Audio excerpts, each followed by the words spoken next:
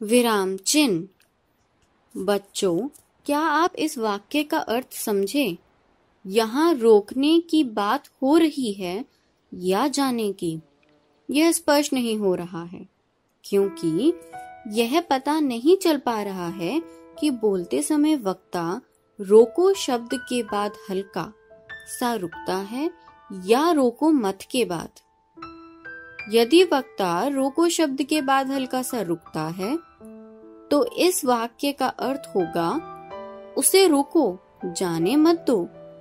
परंतु यदि वक्ता मत के बाद हल्का सा रुकता है तो वाक्य का अर्थ होगा, उसे जाने दो, रोको मत। लिखित भाषा में इन चिन्हों को, लिखित भाषा में इन चिन्हों को ही विराम चिन्ह कहते हैं। मौखिक भाषा की विभिन्न विशेषताओं को लिखित भाषा में व्यक्त करने के लिए बनाए गए लिखित चिन्हों को विराम चिन्ह कहा जाता है। विराम चिन्हों के प्रकार। पूर्ण विराम चिन्ह।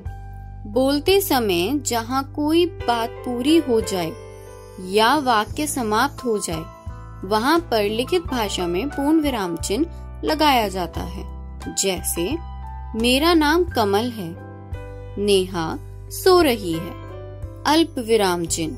बोलते समय वाक्यों के बीच में जहाँ थोड़ी देर के लिए रुका जाता है उसे लिखित भाषा में अल्प विराम चिन्ह से व्यक्त किया जाता है, है जैसे सोनू मोनू और नोनू पार्क में खेल रहे हैं। समीर बाज़ार से पकौड़े समोसे बर्गर और लस्सी लाया। प्रश्नवाचक चिन्ह।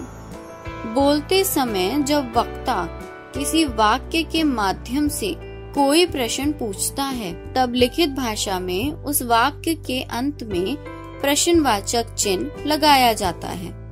जैसे, तुम किस विद्यालय में पढ़ती हो? तुम कहाँ रहते हो?